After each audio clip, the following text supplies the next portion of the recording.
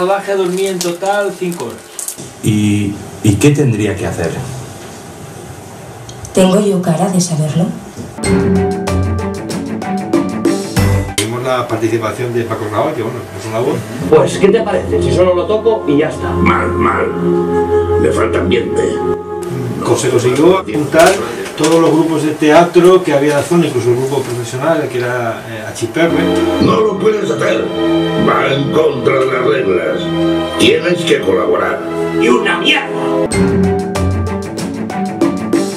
¿Qué pasa? ¡Aberración, aberración! ¡Esto es una aberración! ¡Vamos! ¡Eso es una nación de alitas! Y si puede ser que la gente no lo entienda, no he entendido, pues me he reído mucho, va, por favor. Eso que me ayudaron con el guion, porque... el kiosco que, bueno, que está aquí en la calle de la vía. ¿Y le quedan cinco días? ¿Cómo saben? Porque soy médico.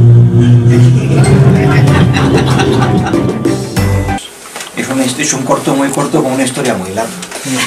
al silbido del viento que antecede a las lluvias, a las peleas de los perros en las noches oscuras y a manos que juegan a conocerse. Pues es una historia un poquito de basada en y bueno, sacada de la vida de un, de un militar francés de Angoulême que se llamaba General Resnier, que el hombre tenía la obsesión de volar.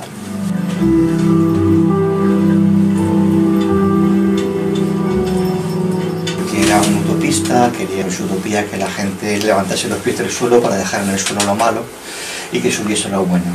¿Qué tal, hija? ¿Cómo estás? ¿Y tú quién eres? ¿Cómo que quién soy? Soy tu padre, hija mía. Tú no eres mi padre. La primera vez se tiró desde una torre bastante alta que hay cerca de Angoulême, una, una torre medieval y casi se mata.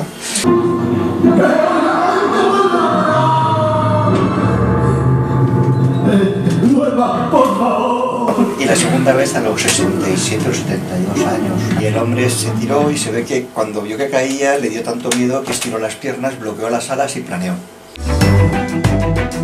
Müzik